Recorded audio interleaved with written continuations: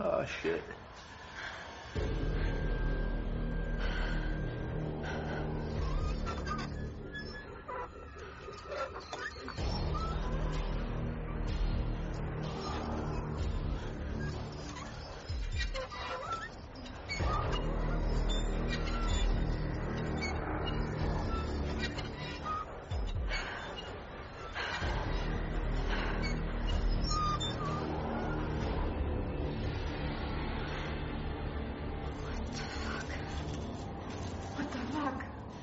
No, it's not creepy at all.